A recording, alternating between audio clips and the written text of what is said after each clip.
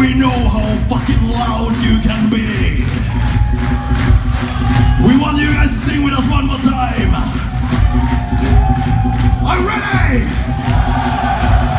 That's what I'm talking about. Just follow Markus' lead! Bye.